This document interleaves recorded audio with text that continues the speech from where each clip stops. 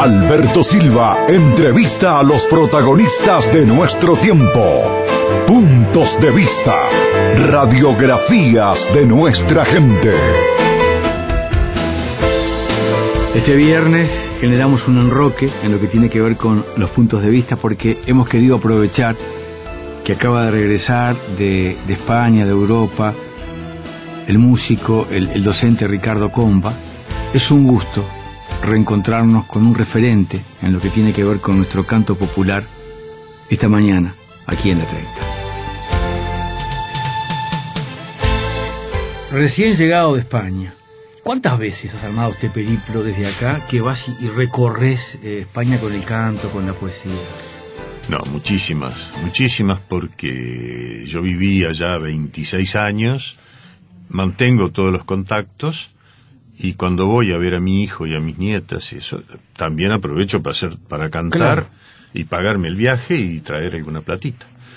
Este, pero bueno, hace muchos años, desde que volví, volví por el 99, 2000, es decir, no hay una, no, no te puedo decir una fecha, porque es un periodo, porque primero vuelves vos y después vuelve la, vuelve la cabeza. Es cierto. Este, y a partir de allí, bueno, cuando perdí todos esos sustos a, a volver a donde viví, este, empe- empecé a volver casi todos los años, y si no año por medio, en fin.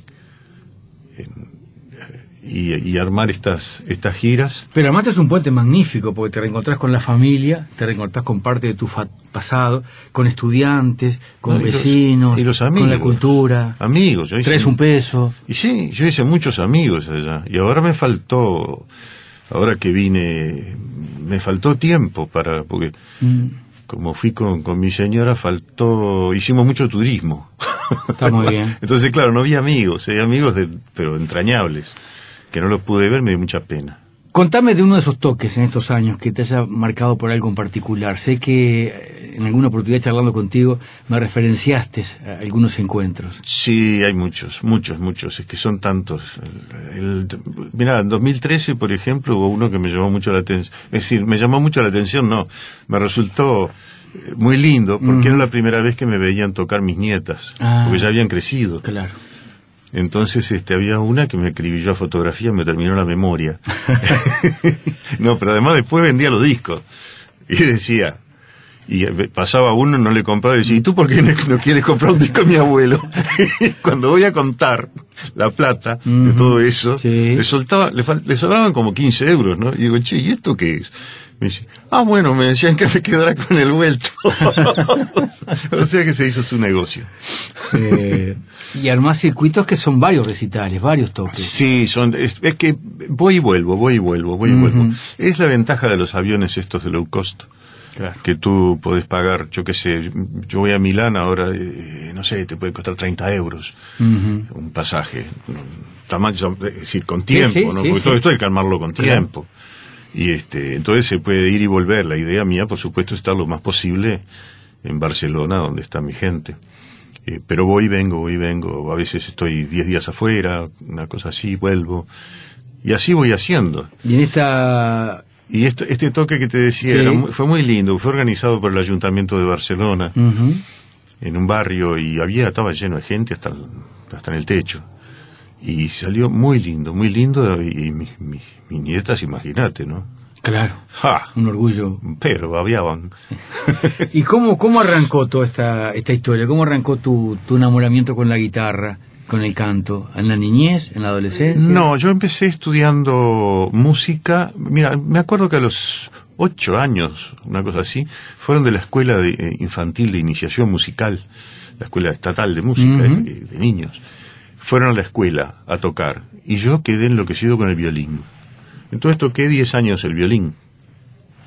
Al mismo tiempo tocaba de oído, qué sé yo, armónica, la quena, todos estos instrumentos que son más así, más simples. Y luego me regalaron una guitarra. El violín, el problema que tenía es que vos no podés salir de repente a una acampada y tocar el violín, porque no, no, no, no da, ¿viste? Pero eh, me regalaron una guitarra. Entonces del violín me olvidé. Y empecé a tocar la guitarra. Y empecé a, a cantar, vi que podía cantar. Yo ni sabía que no había probado cantar, nada más que en, en- estaba en la bozá de la escuela. Este, Y bueno, a partir de ahí estudié, me puse a estudiar con, con Biglietti, estudié unos, unos años y después con César Amaro, cuando Biglietti se fue. Y después pasé a trabajar en, Nemus, en lugar de cuando, donde estaba Numa. Numa se había ido y yo quedé trabajando. ¿Con Daniel en, el TUM? Cuando, cuando arrancó el TUM? No, en, en este, en el, en el, no el TUM no, antes. Antes de eso todavía. Sí, sí, sí. Este, en, no me sale el nombre. No importa. Va. y bueno, y estuve allí trabajando, estaba también el chuiseño. Este, Rodolfo da Costa. Rodolfo da Costa. Estábamos sustituyendo gente, después llevaron preso al chuiseño, eh, apareció Oscar Montes, uno que había, no sé, eh, guitarrista Citarrosa o algo así, o no, no me acuerdo, si te digo, puedo estar en un error. Pero son cosas muy, muy lejanas, ¿no? ¿Y de aquella época, eh, en qué momento te, te acordás en un escenario? Uy, la primera vez, bueno... Porque eran épocas difíciles. Sí, me acuerdo en, por ejemplo, en la, era un, un trasnoche que hacía un cine, era la yapa del cine, del cine Montevideo, puede ser. Puede ser, si hay en, era en La Paz para abajo, Ejido y La Paz por allá, en cine, que hacía la yapa. Entonces, eh, después de la película, hacías una actuación. Y era complicado. Después estuve en otra que ¿Y ahí, por ejemplo, recordás qué parte del repertorio? No, imposible, imposible. Pero supongo que la copla la canté. Claro, claro. supongo que sí. Este, después estuve en la última actuación que hicieron los olimareños, que le hicieron para Cobamca en Canelones, y allí ya los prohibieron.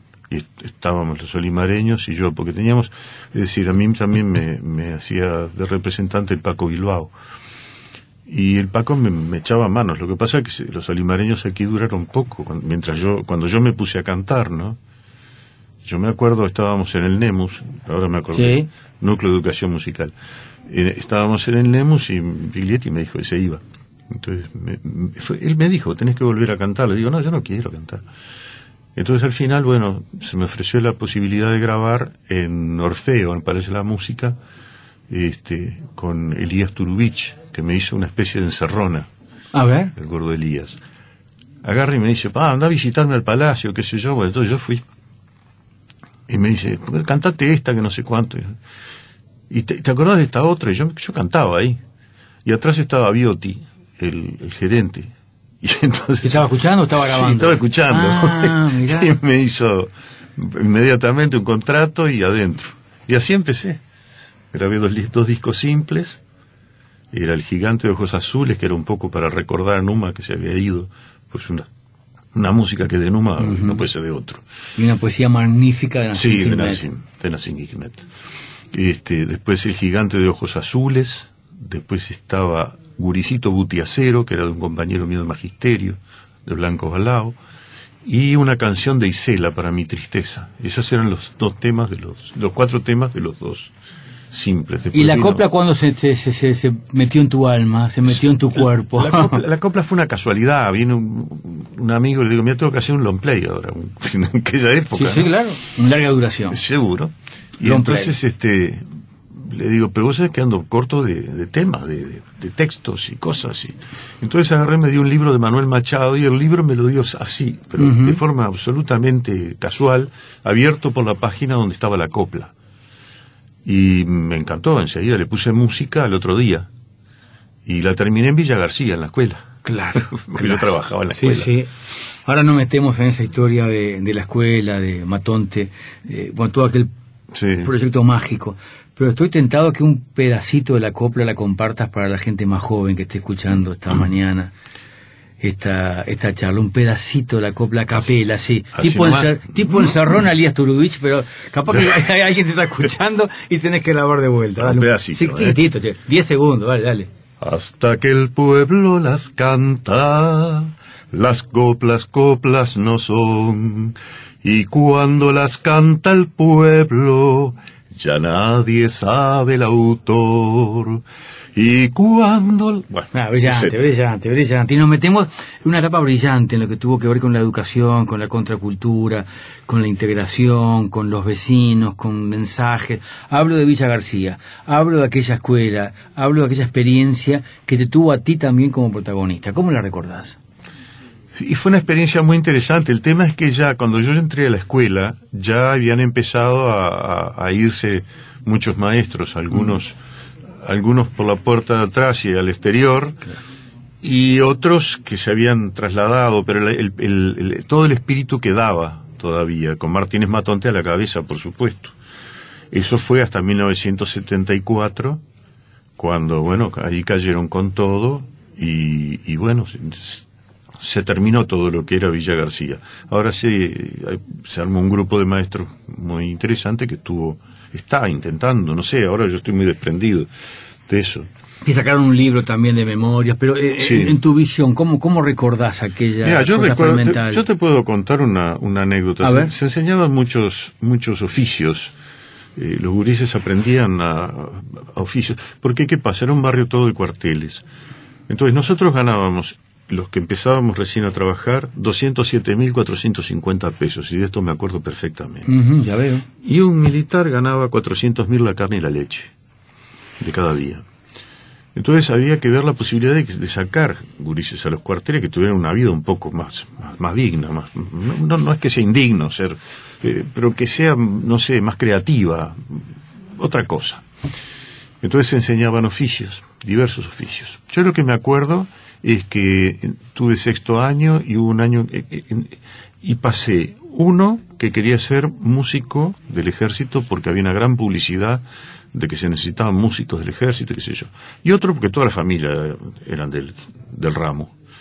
Pero en las escuelas de la zona se, se pasaba hasta el 50% a los cuarteles. Entonces, claro, esa escuela no, no servía mucho para los, las finalidades de lo que teníamos como gobierno en aquel momento.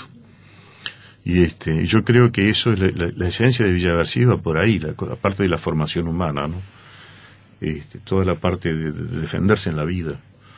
Y había, qué sé yo, bueno, es que es larguísimo el, el proyecto de Villa García, para contarlo así pero muy removedor. Eh, rompía, yo me acuerdo por lo que me han contado, eh, códigos eh, rígidos de enseñanza, reglamentos absurdos de disciplina. Sí, José Pedro no andaba con vueltas con esas cosas.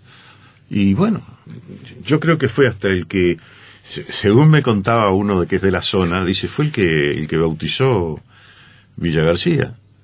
¿Y, ¿Y cómo fue eso? Le digo. Y mirá, me dice, vino uno de la acusa porque dice, vamos a hacer una línea hasta acá, ¿cómo se llama esta zona? Y enfrente estaba la capilla de los García Falvo. Y dice, Villa García. Y ahí quedó. El final de 103. Estamos escuchando este viernes el punto de vista del, del músico, del docente Ricardo Comba, quien acaba de regresar de un nuevo periplo por el viejo continente.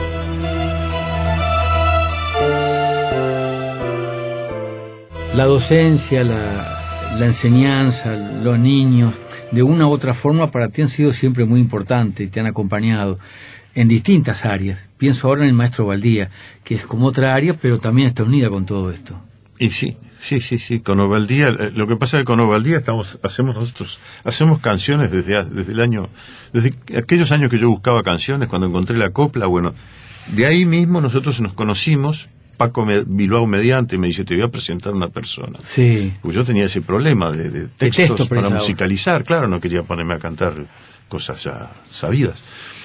Y ahí lo conocí, y hasta hoy seguimos. Hace, no sé, hace cuestión de un mes y medio hice otra canción. Con Ovaldía, nueva. Sí, sí, sí. Son, le digo, ¿qué, ¿qué, tenés? Entonces me pasa textos. Yo agarro, voy y fotografía los textos, porque uh bien rápido. Y después los copio en la computadora. Y este, y entonces, bueno, el texto que me gusta hago, le meto el diente.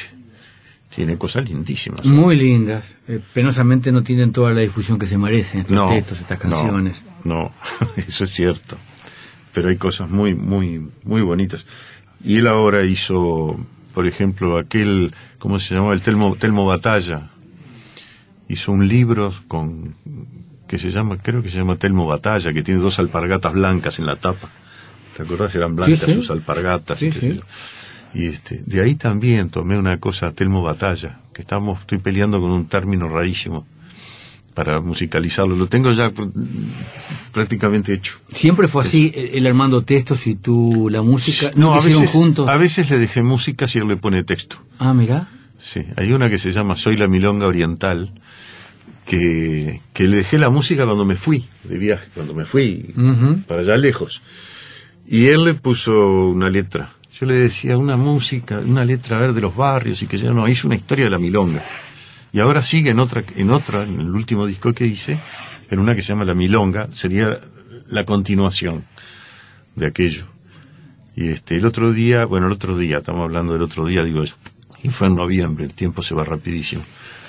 Hubo una, hicimos una, una presentación en, en el Galpón con los del Yerbal, estaba Ovaldía también en el escenario y yo. Ovaldía iba contando cómo habían salido las canciones, cómo, cómo era la historia, porque cada canción tiene una anécdota.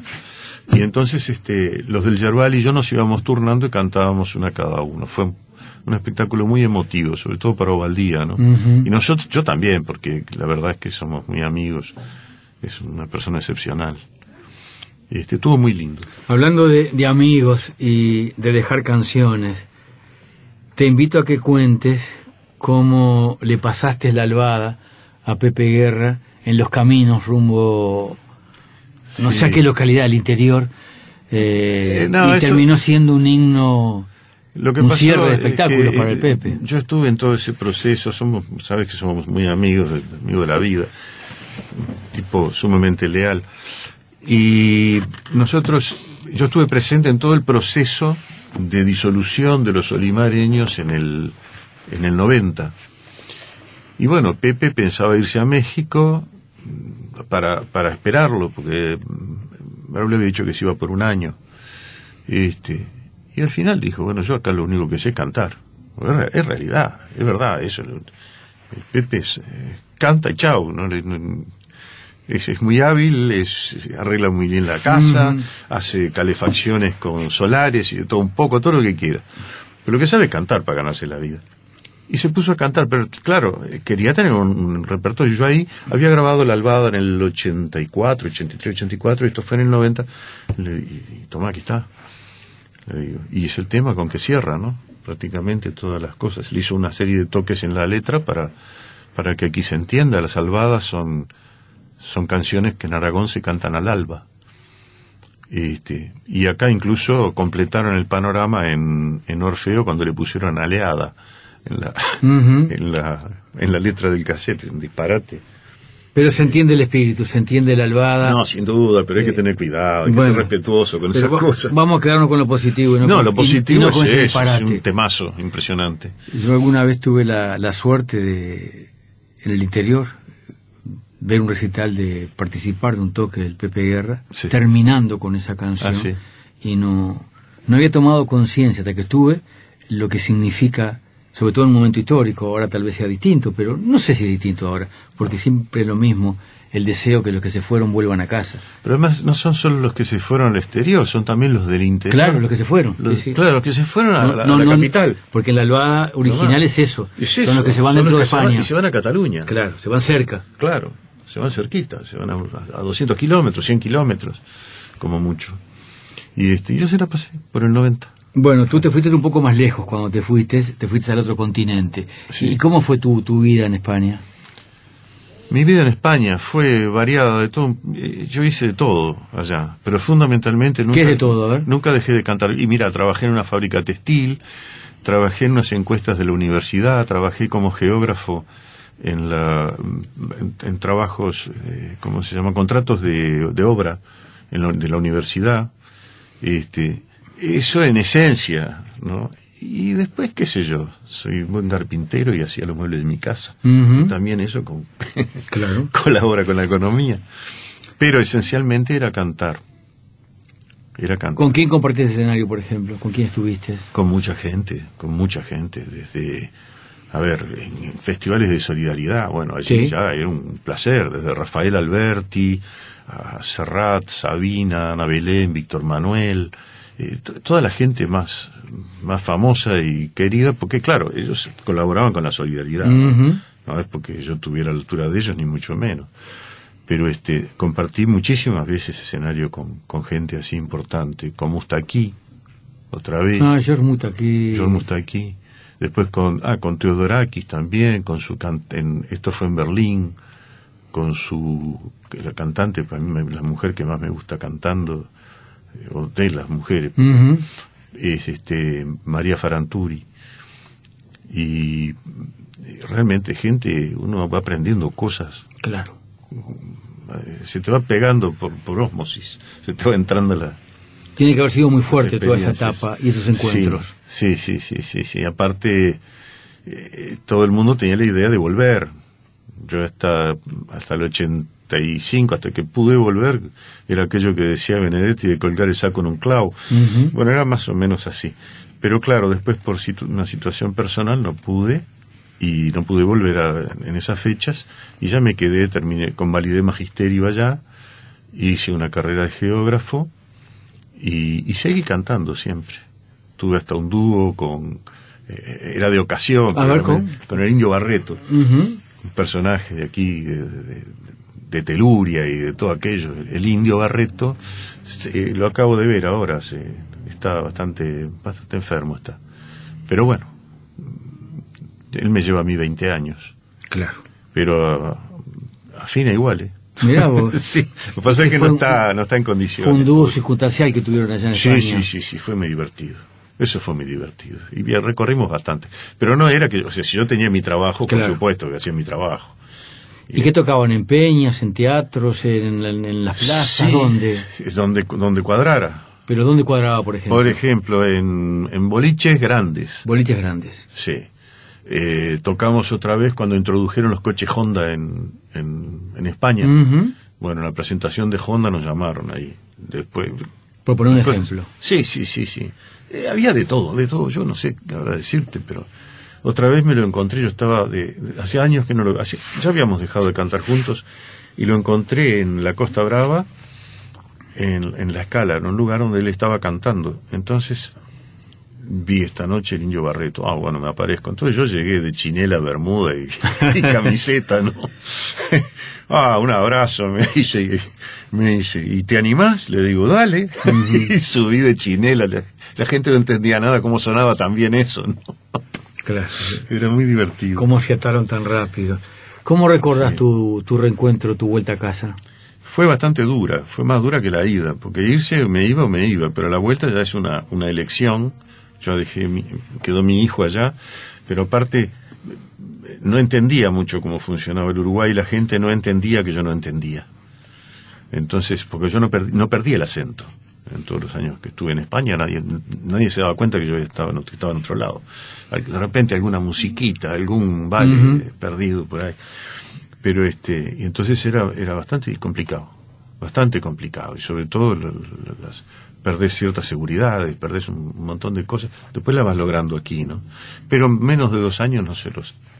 ¿Qué te costó la reentré? Muchísimo. ¿Y la partida? La, partida de España, digo. La partida de España fue muy dura, sí, incluso tuve que, me volví una vez, en fin, fue complicado, todo muy complicado, sobre todo cuando dejas afectos de primera línea. Pero ahora ya estoy acá y puedo ir, ya te digo, voy cada año, nos vemos, Internet colabora mucho, Skype y todas esas cosas, y de mañana estuve mirando cómo, cenado, cómo, cómo almorzaban mis nietas, claro. que estaban en, en bombacha y nada más, porque con mucho calor. un calor espantoso. Encontraste cómo estamos aquí nosotros. Y me miraban a mí de buzo eso y decían, ¿Qué hace con esa bufanda dentro de la casa? sí. Es muy gracioso. Pues son chiquitas. Hay una, una nieta mía que canta en el Orfeo Catalá, que es uno de los mejores coros que hay en el mundo, y ahora la seleccionaron del liceo, el liceo es a Barcelona lo que la escala es a Milán, ¿no? para una ópera de, este, de, de Berlioz, Benvenuto Cellini. La, seleccionaron a ella. Canta que se las pela. A ti que en un momento te faltaban canciones, acá te van a sobrar, pero te vas, tenés que elegir una sola.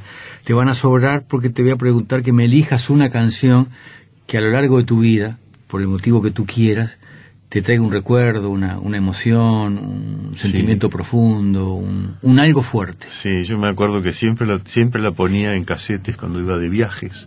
¿Una canción? Sí, era una canción que quería que se repitiera en distintos lados, y era Almagro, de, cantada por Gardel. ¿Y por qué? No sé, porque me gustaba y además cuando lo escuchaba, iba viajando y lo escuchaba y era, me la cantaba con él, ¿no? Pero es curioso, ¿no?